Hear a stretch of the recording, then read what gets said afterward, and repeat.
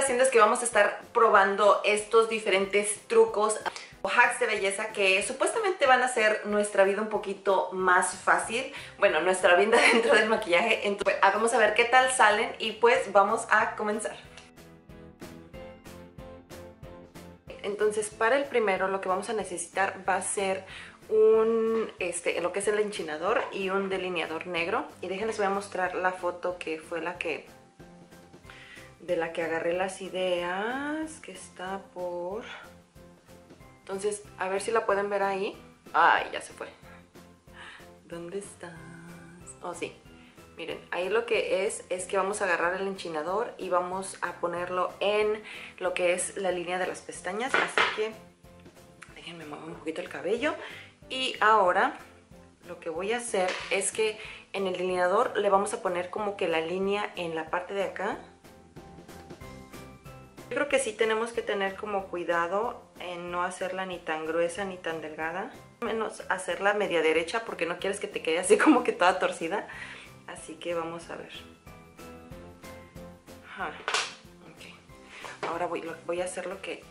Voy a enchinar mis pestañas, ahora sí.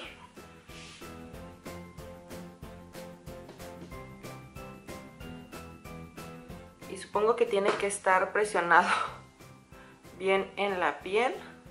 Ahí está. Ahora vamos a quitar. Qué. No, se pasó un poco y ojalá que lo alcancen a ver. Como que la parte de acá sí se, sí se alcanzó a pasar. Un poquito, pero en la parte de aquí ya no se pasó. Así que voy a tratarlo otra vez. se pueda remarcar ya no le estoy presionando a mis pestañas porque ya están enchinadas y no quiero que se me vayan a, romper. ¿Qué ven? ¿Cómo ven? Mm. Ojalá que alcancen a ver. Pero no, quedó batido. A ver, vamos a intentar el otro ojo. Para ver qué tal. Aunque se quedó marcado un poco en como que en la parte de afuera. No está tan mal, o sea...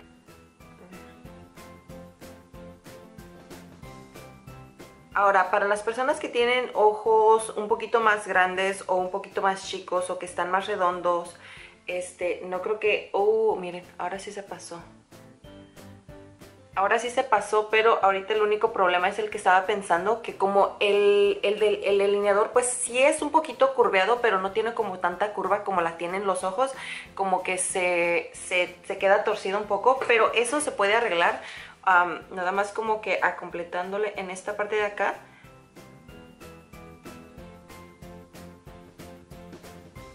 Como ven.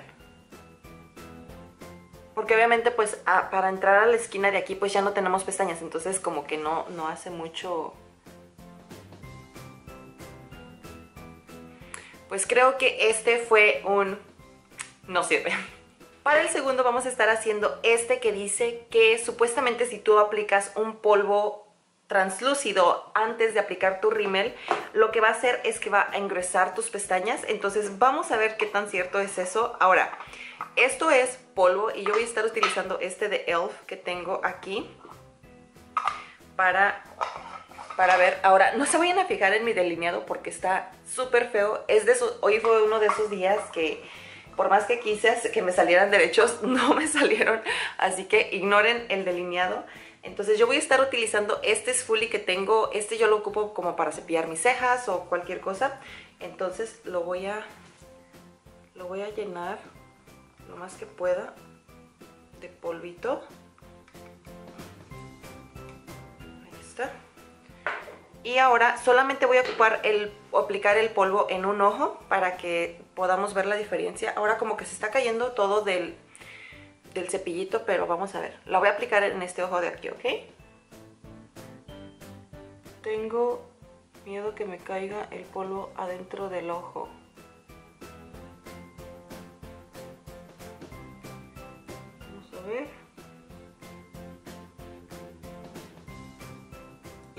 Pensé que iba a estar como que más difícil que se pegara a las pestañas, pero no. ahí están, ya se ven las pestañas, están bien cubriditas de, polvo. Ahora estoy tratando de no parpadear tanto para que no se me vaya a caer el polvo y voy a estar utilizando esta de Tarte Tartist, que esta me gusta mucho porque las alarga bastante bien y no las deja muy um, crumbulosas.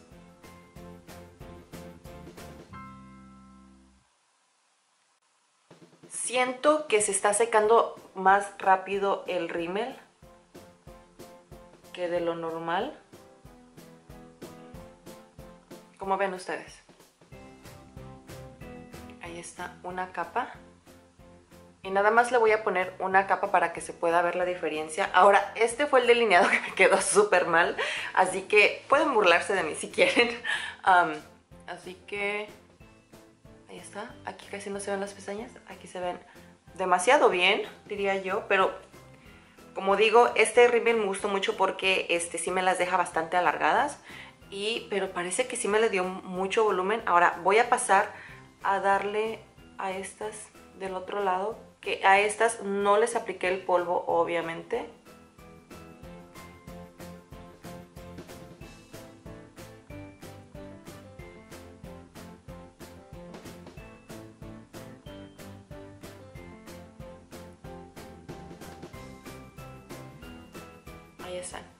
Ustedes. Eso es una capa en cada una. Esta es este lado fue sin el polvo, este lado es con el polvo. ¿Qué parece? ¿Qué les parece? A mí se me hace como que sí las alcanza a levantar un poquito más. Más gruesas. Mm, no noto mucho la diferencia de que si haya hecho eh, el rímel completamente solo Mm, como que las noto un poquito más separadas, pero no sé si es porque nada más necesitaría yo separarlas más. Ahora, vamos a darle una segunda pasada a ver qué tal. Definitivamente secó más rápido en este ojo. Y digo que más rápido, y yo sé que ya dejé pasar unos cuantos minutos, pero este secó más rápido de a lo que estoy acostumbrada a que me seque. Entonces, no sé si eso es bueno o malo. creo que no es, no es ni, ni, lo más, ni lo mejor, ni lo peor. Como, como que sí se nota un poco de resultado, pero no es mucho el resultado a lo que este rímel en particularmente ya me da. Así que bueno, pues ustedes decidan si es que les gustó cómo se ven con polvo o sin polvo. Este sí fue un poquito más difícil decidir porque como que no Mm, no es una diferencia muy dramática, diría yo. Así que si tienen tiempo y lo pueden hacer, pues es algo que pueden intentar. Pero si es como que necesitan salir de la casa rápido, creo que no. O tal vez sí. Ustedes decidan, déjenme en los comentarios a ver qué piensan. Ahora para este hack, lo que dice Pinterest es que vamos a hacer unas ondas como unas beach waves en 5 minutos y a lo que muestra es que están solamente como que enredando el cabello y secándolo con una secadora y voilà, te quedan así como que los chinos muy bonitos, así como que ondas muy relajadas, entonces vamos a intentarlo. La chava ahí nada más lo tenía en un en un solo pedazo, pero yo creo que yo me lo voy a partir en dos porque este sí tengo un poquito más de cabello que lo que se ve ella. Ahora, yo pensaría como que si hubiera un poquito mejor, si me lo mojo un poquito. Bueno, déjenme les voy a mostrar mi cabello antes de que me le haga algo. Este es mi cabello así natural, yo me lo lavo en la noche, así que ahorita nada más quedó así como, como que me desperté, nada más ahorita como que me pasé la laseadora en estas partes de aquí de arriba, pero no me tocó absolutamente lo de acá, como que de, de aquí para abajo. Entonces así es, no es ni chino, ni lacio, ni, ni nada, no tiene forma. Así que vamos a intentarle. Y me voy a creo que funcionaría un poquito mejor si me lo humedezco un poco. Entonces es lo que voy a hacer. Y ahora lo voy a torcer hasta así. Y voy a tomar mi, lo que es mi secadora y la vamos a poner a fuego, a fuego en medida alta.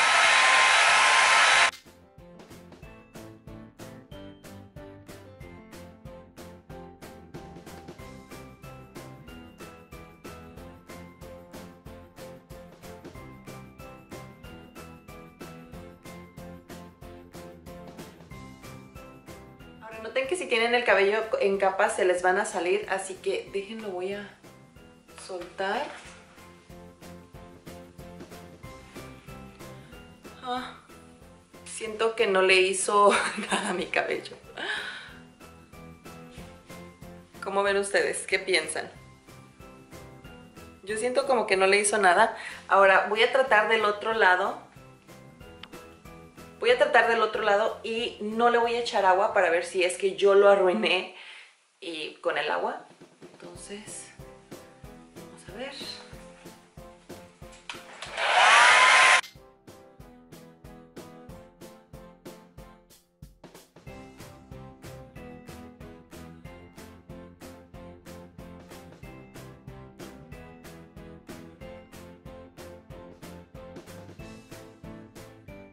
Ahora me alborotó el cabello del otro lado, así que vamos a ver.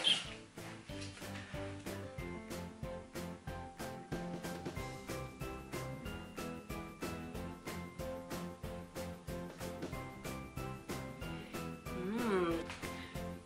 Ok, ahí está el resultado. Ahora quiero que vean que a ella se le notan así como que súper bonitas, como que se les hubiera hecho como con alaciadora o algo así. Yo siento que... Creo que no. Creo que este fue un fail para mí también.